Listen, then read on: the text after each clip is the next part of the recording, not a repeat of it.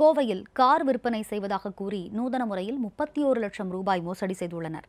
மோசடியில் ஈடுபட்ட பெண் உட்பட மூன்று பேரை போலீசார் தீவிரமாக தேடி வருகின்றனர். கூடுதல் தகவல்களை நமது செய்தியாளர் சுதேவன் வழங்க தற்போது கேட்கலாம். சுதேவன் சொல்லுங்க கார் விற்பனை செய்வதாக கூறி முப்பத்தி ஓரு லட்சம் ரூபாய் மோசடி செய்துள்ள பெண் உட்பட மூன்று பேர் போலீசார் தீவிரமா தேடிட்டு வந்துட்டு இருக்காங்கிற தகவல் தெரிய வந்திருக்கு. கூடுதல் தகவல்கள் என்ன? சென்னை ஈசிஆர் ரோடு பகுதியை சேர்ந்தவர் வந்து மோகன் பாபு. இவர் பழைய கார் வாங்கி விற்கும் தொழில் செய்து வருகிறார். குறிப்பாக இவர் விலை உயர்ந்த சொகுசு கார்களை வாங்கி விற்பது வழக்கம். இவரிடம் ஏற்கனவே கோவையைச் சேர்ந்த சுப்பிரமணியம் என்பவர் சொகுசு கார்கள் சிலவற்றை வாடிக்கையாளரிடம் இருந்து வாங்கி மோகன்பாபிடம் விற்று விற்பனை செய்துள்ளார்.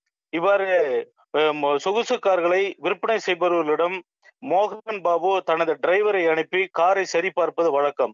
பின்னர் காருக்குரிய ஆவணங்கள் அனைத்தும் சரியாக இருந்தால் உடனடியாக பணத்தை ஆன்லைன் மூலம் சம்பந்தப்பட்ட கார் உரிமையாளர் வங்கி கணக்கிற்கு அனுப்பி வைப்பதும் வழக்கம்.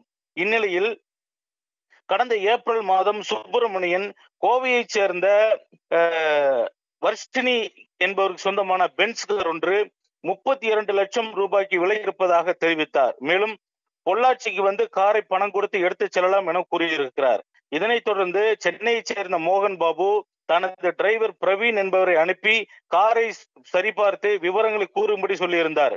பின்னர் பொள்ளாச்சி வந்த கா- அந்த டிரைவர் பிரவீன் மற்றும் சுப்பிரமணியன் ஆகியோர் பொள்ளாச்சியில் ஹோட்டலில் வைத்து அந்த விலை உயர்ந்த காரை பார்த்தனர். தொடர்ந்து பிரவீன் தனது உரிமையாளரான மோகன் பாபுடன் அனைத்தும் சரியாக இருப்பதாக கூறி இருப்பதை தொடர்ந்து மோகன் பாபு காரின் உரிமையாளரான கோவையைச் சேர்ந்த வர்ஷினி என்பவருக்கு வங்கி கணக்கிற்கு முப்பத்தி இரண்டு லட்சம் ரூபாயை அனுப்பியுள்ளார். இதன் பின்னர் பேசிய சுப்பிரமணியன் கார் தற்சமயம் லோனில் இருப்பதாகவும் வங்கியில் அதற்குரிய தொகையை செலுத்தி சில நாட்களில் காருக்குரிய ஆவணங்கள் அனைத்தையும் வங்கியிலிருந்து பெற்று அனுப்பி வைப்பதாகவும் கூறி அஹ், காரை சென்னைக்கு அனுப்பி வைத்தார். அதன் பிறகு பலமுறை சென்னையை சேர்ந்த மோகன் பாபு கோ- காரை வெற்ற கோவையை சேர்ந்த வர்ஷினி மற்றும் அவரது மேலாளர் நவீன்குமார் ஆகியோரை தொடர்பு கொண்டு சரியான ஆவணங்கள் வந்து கேட்டிருக்கிறார். ஆனால் சம்பந்தப்பட்ட மூவரும் வந்து வா- ஆவணங்களை தராமல் ஏமாற்றி வருவது தெரியவந்ததை தொடர்ந்து அஹ், இவர்களை குறித்து கோவை மாநகர போலீஸ் கமிஷனரிடம்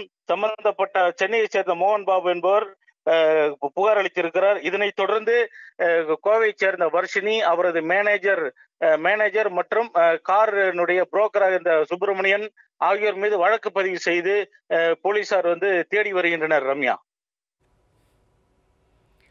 தகவல்களை பகிர்ந்து கொண்டமைக்கு நன்றி சுதேவன்.